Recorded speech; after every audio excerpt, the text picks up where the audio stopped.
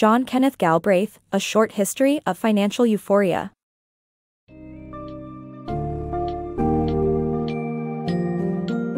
A Short History of Financial Euphoria by John Kenneth Galbraith unveils the persistent cycles of financial collapse, inherent to the free enterprise system.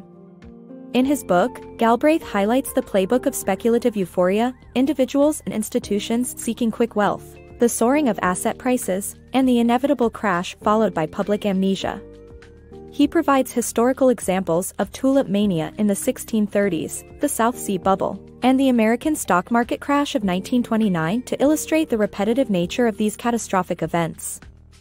Throughout the summary, you'll explore the motives behind wealth accumulation and the psychological factors driving reckless financial decisions, ultimately leading to devastating consequences.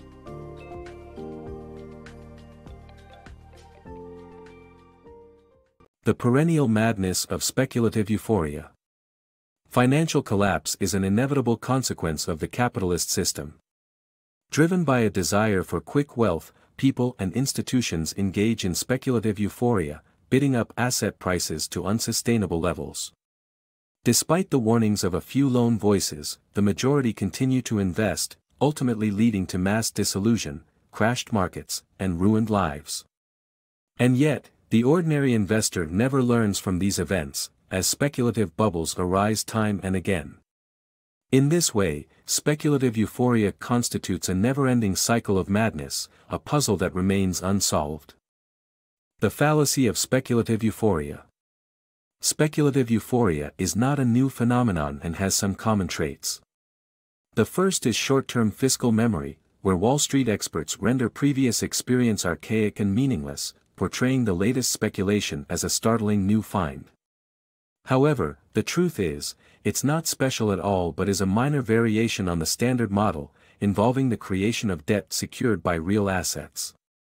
The second shared factor is the fallacious linkage between wealth and brilliant intellect. Money is seen as the accolade of a life well lived, and those who doubt this truth are seen as misinformed the public and individuals close to giant financial institutions believe they can do no wrong. Only after a crash does their supposed special intelligence turn out to be specious.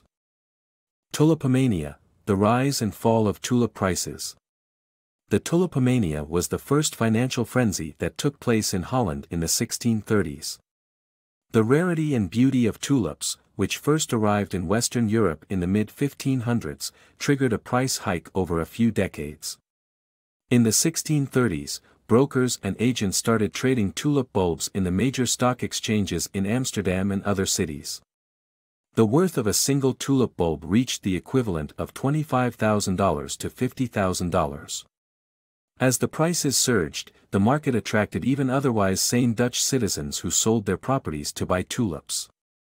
When the inevitable crash hit in 1637, prices plunged, and merchants who had invested heavily in tulips quickly became impoverished. The courts refused to recognize tulip contracts, viewing the whole affair as a giant gambling enterprise.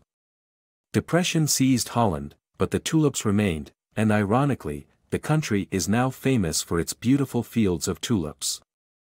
The South Sea Bubble In 1711, the South Sea Company was formed to retire English government debt by issuing stock, which quickly gained popularity among investors including members of the aristocracy and the public. However, the stock price, which climbed to £1,000 by late summer, was built on speculation and dreams of quick riches. Other ventures tried to capitalize on the trend, including a perpetual motion company. Parliament passed the Bubble Act to protect South Sea's investment, but by December 1720, South Sea Company stock fell to £124, leaving angry citizens petitioning for vengeance. Nobody blamed the financial system itself, and author Charles Mackay added that the people's credulity and avarice were at fault. America's boom and bust cycles. The American colonies used paper notes, causing citizens to panic when their notes turned out to be worthless. This continued even after winning independence. Speculation on land and other investments led to a real estate crash and depression in 1837 and panic in 1873. In 1907, J. P. Morgan helped troubled banks.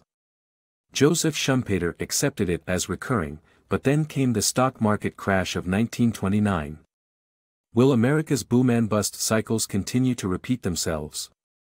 The perils of speculation. The Roaring Twenties ushered in an era of investment opportunities and an American vision of get rich quick. The 1924 to 1925 Florida real estate boom was a prime example of this. People could buy home plots with only 10% cash down, and as prices doubled, Florida became synonymous with this fantasy. When the inevitable crash arrived in 1926, investors lost everything. Despite this, the Federal Reserve Board declared that it might constrict interest rates to temper the boom mentality, and Charles E. Mitchell, president of National City Bank, lent money to counteract these effects. However, as with any speculative episode, the end result was foreseeable. Few were able to see the writing on the wall as stock prices on Wall Street climbed constantly and investors feverishly bought more shares on a 10% margin. By autumn of 1929, things seemed particularly blissful for the investor class. However, stock prices began to tumble on October 21 and went into free fall on October 29, leading to the global Great Depression, which lasted much longer than normal and caused investors to take note of the dangers of speculation. Small booms took place in the following decades, but other speculative episodes also arose, continuing to show the perils of speculation and the lessons to be learned. Bursting Bubbles The book addresses the question of whether anything can be done to end speculative bubbles, concluding that probably nothing can be done. No government authority can prevent fiscal naivete or mass euphoria. It suggests that individuals should be cautious of investment opportunities that seem too good to be true and be skeptical of anyone who claims to have magic investment know-how, particularly those who possess a lot of money. However, the book admits that people are unlikely to gain this awareness and knowledge based on history's lessons.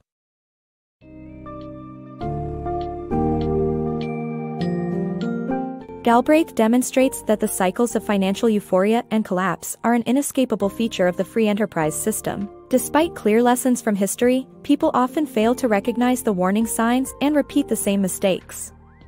Individuals entrust their money to those claiming financial acumen, with their perceived brilliance being based solely on their wealth. The ultimate takeaway from a short history of financial euphoria is the significance of cultivating an informed skepticism. When it comes to financial ventures, especially those that promise miraculously high returns, past is, indeed, prologue.